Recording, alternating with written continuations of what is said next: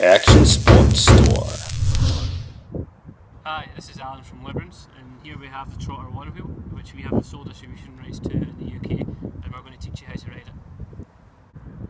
You'll find a power button at the top right hand corner. The board will then bleep to indicate that it's setting itself up to be ready for use. Before getting on your Trotter One Wheel board, you need to find out if you ride regular or goofy. If you ride regular, you'd ride with your left leg forward. If you ride goofy, you'd ride with your right leg forward.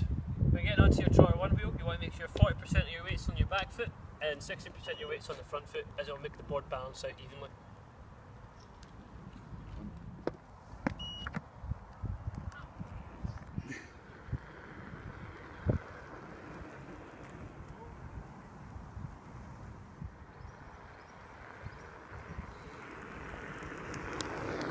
To get off your Trotter One Wheel, you would just lean forward as so and step off.